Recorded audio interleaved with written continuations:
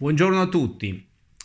È dei giorni scorsi la richiesta da parte di Coldiretti di reintrodurre i voucher, un'iniziativa che potrebbe portare a un rilancio dell'occupazione, soprattutto nel sud che ha bisogno di braccianti per lavorare in campagna.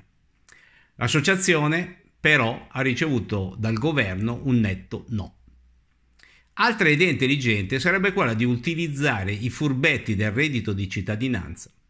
Accanto a situazioni di estrema miseria, esiste tutto un mondo di fancazzisti della prima ora che hanno salutato con champagne la grande trovata dei pentastellati.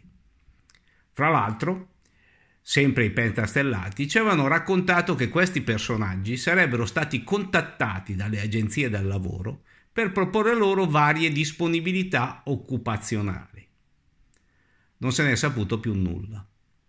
Nel frattempo le cronache ci hanno raccontato di gente che spacciava, viveva in case di lusso, possedeva automobili di grossa cilindrata, tutti disoccupati a reddito zero. Bene, ora c'è questa grande occasione di riscatto, un sano e utile lavoro nei campi, a contatto con la natura. Ma sappiamo bene come andrà a finire, non se ne farà nulla. Braccia rubate all'agricoltura. Qualcun altro però sostiene che nei campi a lavorare ci dovrebbero andare certi ministri insieme al loro codazzo di esperti e burocrati. Mao Zedong, il grande timoniere, lo aveva fatto nella Cina della rivoluzione culturale.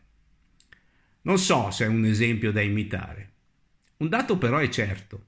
I primi che ci hanno aiutato con medici, mascherine e ventilatori sono stati proprio i cinesi. Vorrà dire qualcosa. L'alimentare è vivo e lotta insieme a noi. A domani.